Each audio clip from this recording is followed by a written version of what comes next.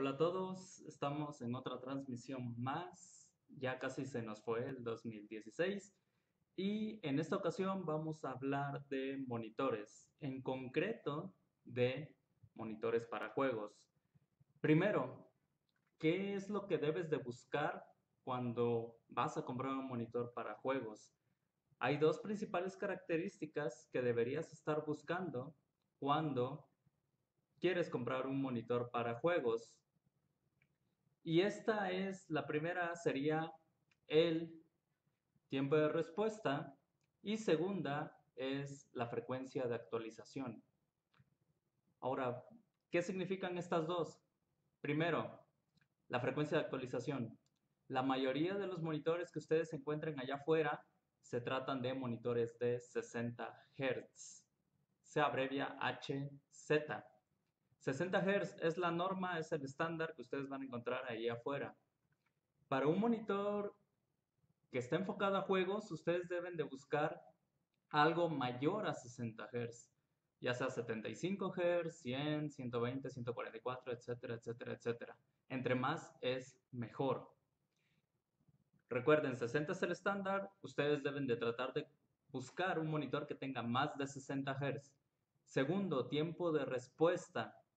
El tiempo de respuesta se mide en milisegundos. Lo más bajo que hay en el mercado es un milisegundo. Algo muy común en el mercado serían, por ejemplo, 5 milisegundos. Ustedes, al buscar un monitor para juegos, deben de tratar de buscar un monitor que tenga menos tiempo de respuesta. Abajo de 5 es totalmente aconsejable. ¿Qué significa tiempo de respuesta? Es el tiempo que tarda un píxel en cambiar a otro color y volver al color original. Eso es el tiempo de respuesta. ¿Y en qué te afecta cuando el tiempo de respuesta es muy alto? Cuando el tiempo de respuesta es muy alto aparece un fenómeno llamado ghosting. Más adelante van a ver una pequeña explicación gráfica de cómo se ve el ghosting y por qué es molesto. Otra cosa más que pueden buscar cuando se trata de monitores para juegos serían tecnologías que te van a ayudar a tener la mejor experiencia de video. Tecnologías como NVIDIA G-Sync y AMD FreeSync.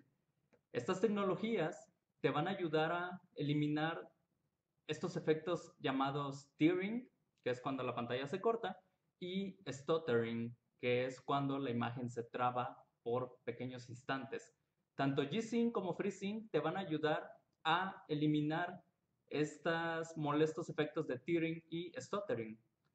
Entonces son tres cosas las cuales podrías buscar en un monitor para juegos. Primero, que sea mayor a 60 Hz. Segundo, que el tiempo de respuesta sea menor a 5 milisegundos. Lo mejor es un milisegundo.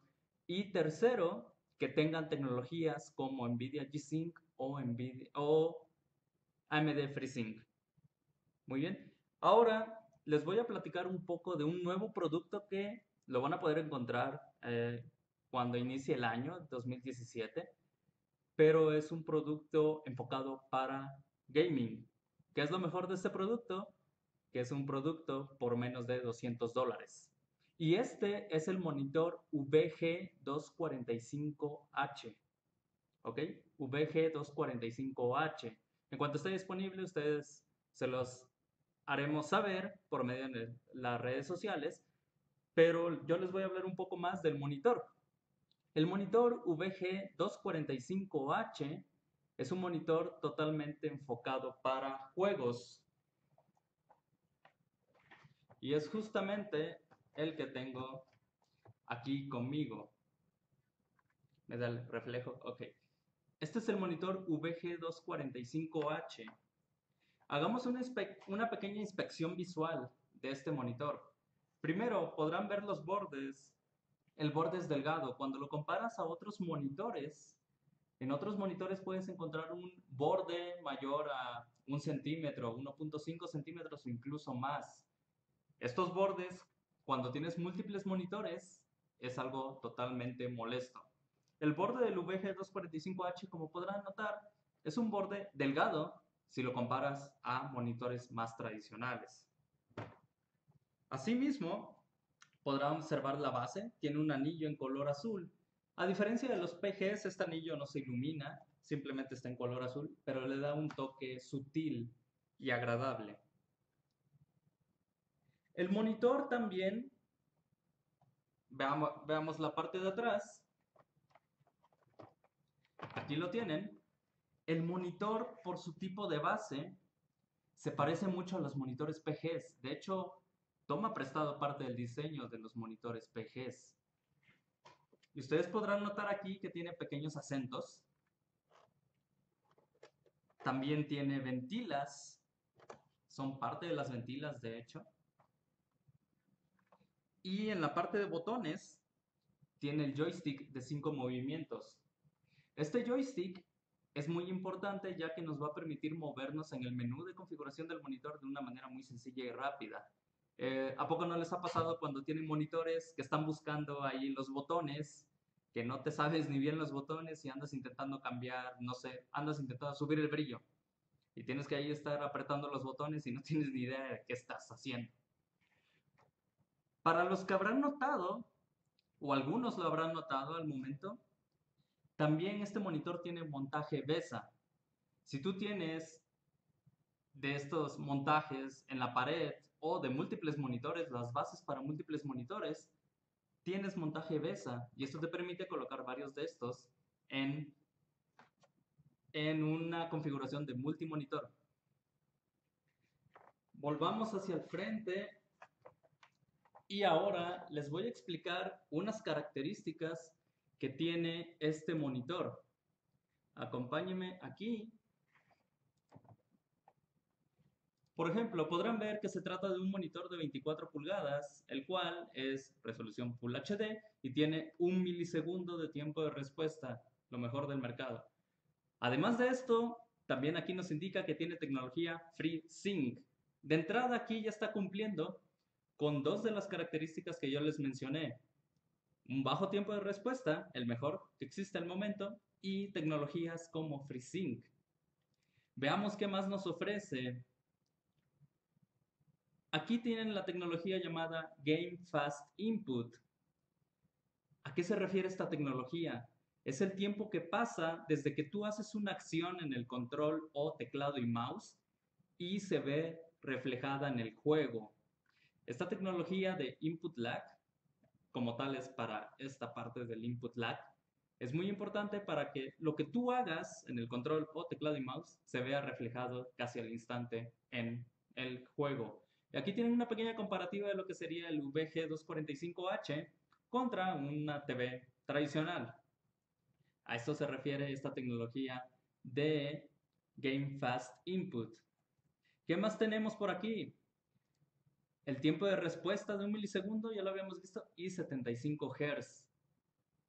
Como yo les dije, lo, en cuanto tú buscas un monitor para juegos, lo aconsejable es que consigas algo superior a 60 Hz.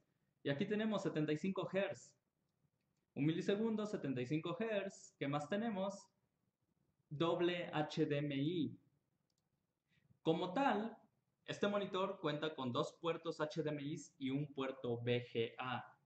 Esto te va a permitir que puedas tener conectados múltiples dispositivos directamente al monitor. Lo único que tienes que hacer es cambiar la entrada.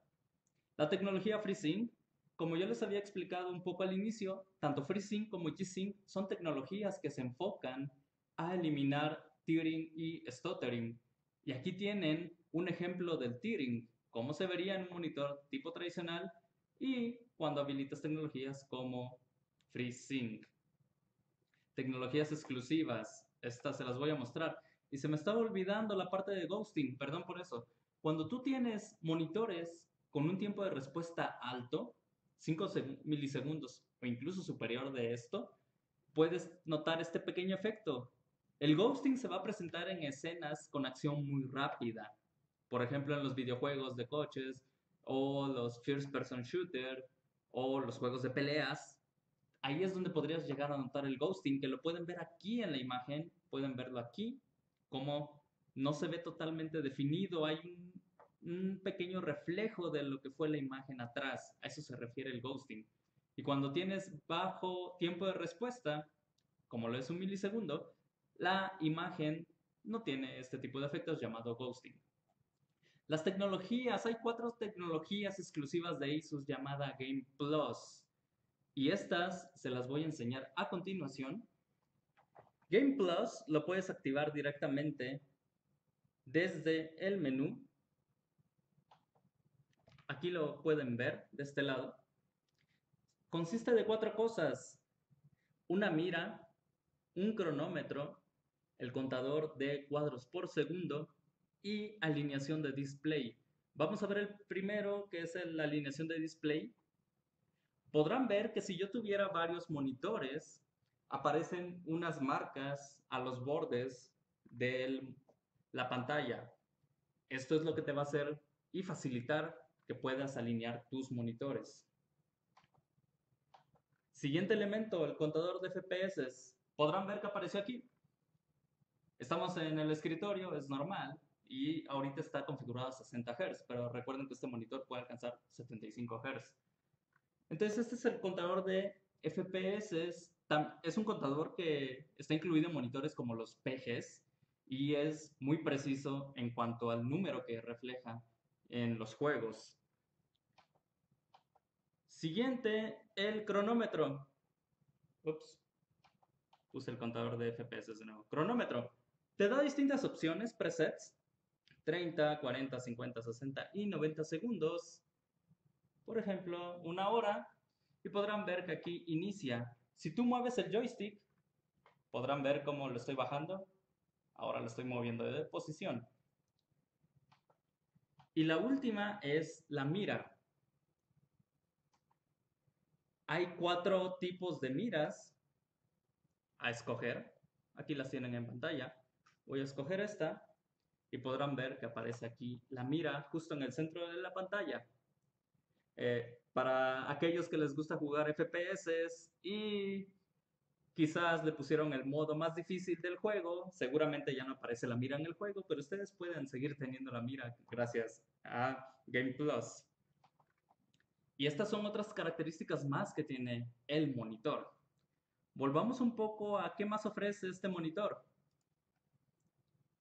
Tecnologías como Game Visual. ¿A qué se refiere Game Visual?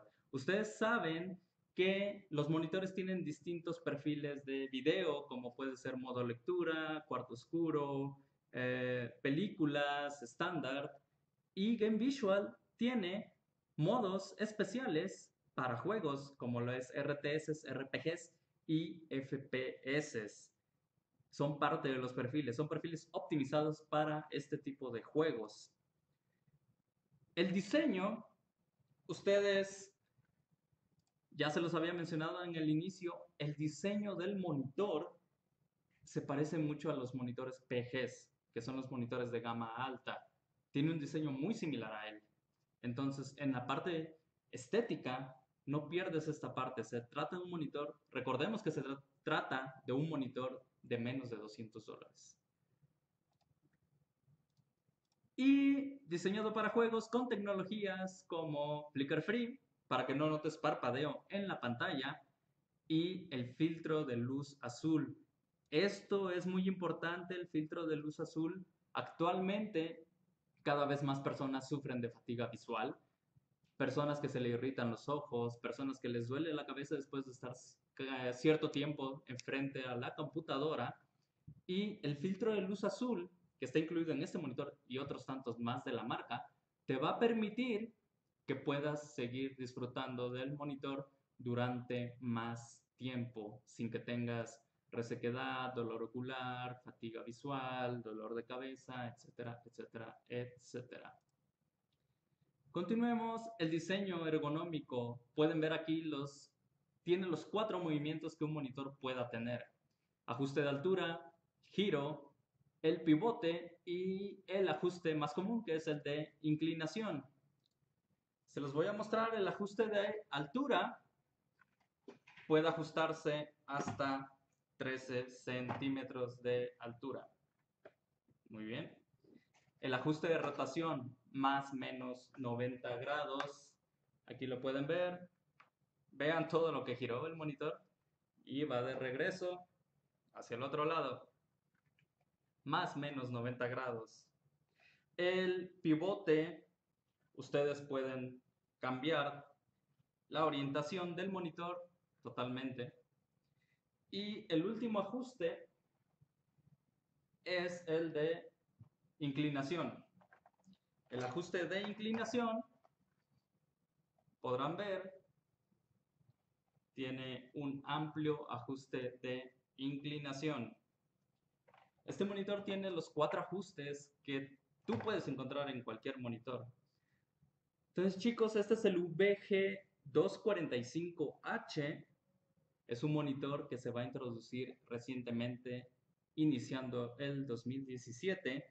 Y como podrán ver, se trata de un monitor para juegos, desde la misma estética, asemejándose a un monitor PG, con características como un milisegundo de tiempo de respuesta, 75 Hz de la frecuencia de actualización, así como FreeSync. Entonces, muy bien, esto fue la plática el día de hoy. Espero que con esto ustedes ya sepan qué buscar cuando van a comprar un monitor gamer. Espero que con esto les ayude también a tomar su decisión si es, si es que ya están en esa búsqueda de un monitor gamer. Y espero que también esperen a nuestro monitor, el VG245H, próximo a lanzarse en el mercado mexicano. Un monitor hecho para juegos y de bajo costo. Muy bien chicos, muchas gracias. Me despido. Felices fiestas. Si toman, no manejen y nos vemos para la próxima.